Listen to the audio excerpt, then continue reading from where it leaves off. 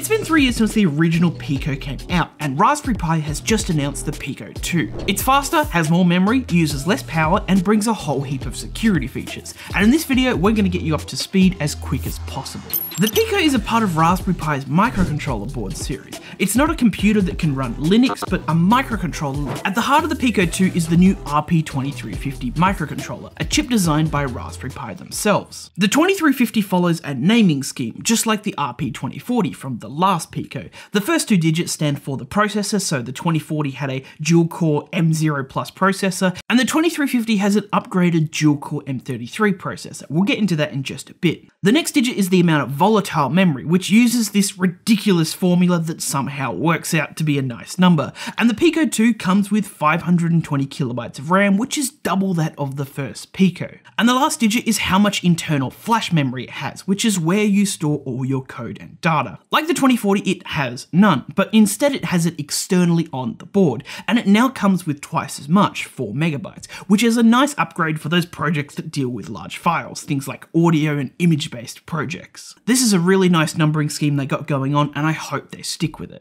Let's take a look at that brand new processor, the ARM Cortex M33, which comes clocked at 150 megahertz. The old M0 Plus was clocked at 133 megahertz, and your pattern recognition brain might say 150 is 13% bigger than 133, so it must only be 13% faster. But this might not be the case, as the M33 is a more advanced and more capable processor with a lot more going on under the hood. Things like a richer instruction set and dedicated computational hardware like a divide unit means that it can achieve more with less hertz. CoreMark benchmarks indicate at best it can be about twice as powerful, but it's likely something less than that for a lot of technical and nerdy reasons. As if that wasn't enough, Raspberry Pi decided to get on the hype train and also include an extra dual-core RISC-V Hazard 3 processor. What a mouthful. RISC-V is an architecture like ARM and x86, but it's an open standard and has been making waves in the hardware world and has seen promising applications in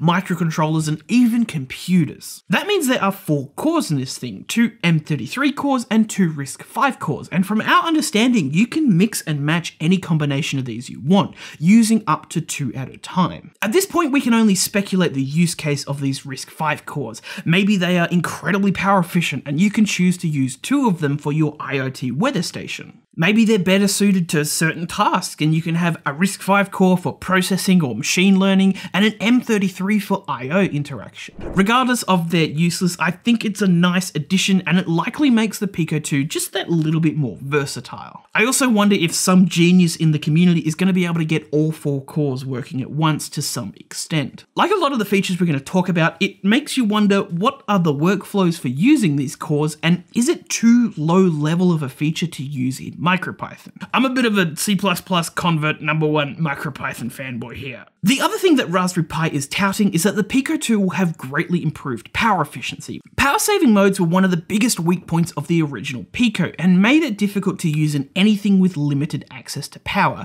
things like off the grid battery projects, so any improvements here are definitely welcome. Even worse, a great deal of investigation on our forums came to the conclusion that the original Pico's low power modes in MicroPython were borderline placebo compared to C++, so let's hope that the Pico 2 can bring some improvements here. The other biggest announcement was the wealth of security features that come with the RP2350. That new M33 processor comes with TrustZone for ARM, a feature that allows you to isolate code and data from the rest of the application, and this helps you keep things away from prying eyes. This is great for potential industry applications like locking down firmware to prevent reverse engineering and IP theft, but for us makers, it may give us a way to hide things like authentication tokens, keys, Wi-Fi credentials, and any other important private data. If I was putting an IoT device out in the field, this would probably give me a little bit of extra peace of mind. We also have a wealth of other security features like SHA-256 acceleration, fast glitch detectors, and hardware-based random number generation, and also 8 kilobytes of one-time programmable storage. Very nice. With all these features, we again ask, what is the workflow for using these, and can we utilize them in a MicroPython or C++ environment? All right, let's get to the negative. I think my biggest gripe with this board is that it doesn't have a USB-C connector.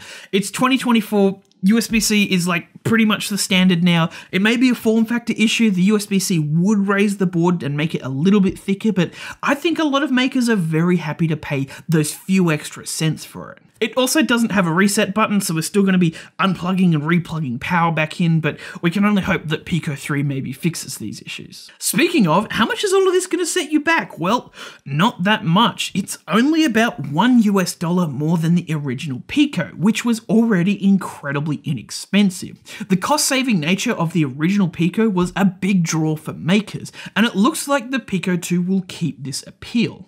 Outside of these features, it looks pretty much the same, which is good here because it has the same footprint as the original Pico, the same pinout, and it looks like it's going to have the same workflows, meaning that you can seamlessly swap out your Pico with a Pico 2 in your projects. And by the way, we've got an entire beginner course on how to use the Pico. If you're interested, there's a link below. It's really good. And I nearly forgot, it now comes with an increased 12 PIO state machines. PIO on the original Pico has found some really cool and often niche applications, and this is just a nice little cherry on top for that. Well, it's been three years and the Pico 2 is shaping up to be a very nice and welcomed refresh. For all these additional features at only a very slight price increase, I think many of my projects will be using a Pico 2 from now on, but maybe if a project called for lots and lots of Picos, I might use the original one to save a buck or two here, but double the RAM, double the flash, a boost in processor performance, and a wealth of new features for not much more, it's kind of a no-brainer there. The other question you may be asking is, where's the Wi-Fi? Well, there's no official announcements there, but fingers crossed we can enjoy these new features plus Wi-Fi in the future. And of course, if you want to learn how to get your hands on one, we'll have a link below to that. Also, look out for our benchmarking video where we'll be putting the Pico 2 through its paces and testing much of what we talked about here. I hope that got you up to speed. Till next time.